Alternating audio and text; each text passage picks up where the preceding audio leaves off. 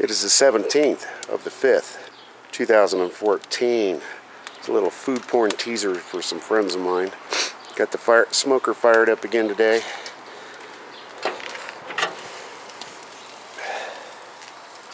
That's four full pork loins on the bottom.